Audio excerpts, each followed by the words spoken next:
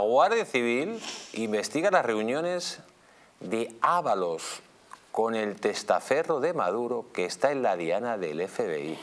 Señor eh, Trejo, ¿qué relaciones tiene Ábalos con el testaferro de Maduro?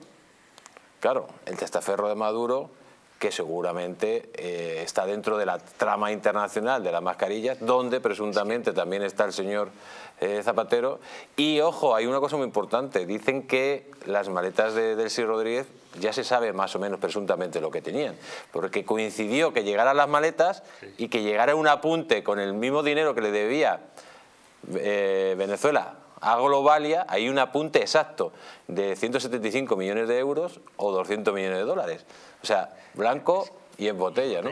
Esto es que esto no, empieza con las mascarillas, es que esto viene desde, desde, mucho antes, ¿no? Yo creo que esto viene desde, desde el advenimiento del César al, Palacio de la Moncloa, ¿no? Digo César, eh, con todo mi respeto para César, yo que provengo, que provengo de Mérida Augusta, pues como para, para hacer una comparación del individuo con, con, mis antepasados ¿no? de, de, Mérito Augusta. ¿no? Eh, esto viene de lejos. Yo no creo que sea la propia Guardia Civil la que estaba investigando estas conversaciones de, de Ábalos con, con el, con el venezolano, sino es el propio FBI y es el FBI el que le ha puesto en conocimiento del CNI y a través de y, entonces es cuando la Guardia Civil se ha puesto eh, manos a la obra.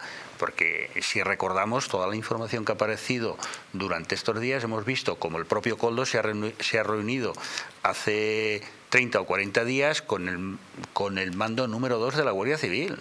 Con el mando número 2 de la Guardia Civil tenían, tenían en nómina al, al Guardia Civil que estaba en, la embajada de, de Venezuela que le, estaban mordida de Caracas. Entonces, claro, y luego había una empresa o un presunto o un, eh, un laboratorio eh, dental que los accionistas eran venezolanos, estaban en Costa Rica, por cierto. Dominicana, dominicana en República Dominicana, que por cierto, Sánchez, eh, creo que son 33, 34 vuelos de los que no tienes que dar explicaciones, porque seis lo, lo reconoce, ¿no? Que también era venezolano y que de ahí también venían mordidas todos los meses, es decir, o, que iban a por ellas. Igual se subían en el Falcon los 8 y 10 y iban a buscarlas. En fajos. ¿Eh? Porque dicen, yo he leído informaciones que decían que Coldo recibía hasta 10.000 euros procedentes de República Dominicana de forma, mensualmente.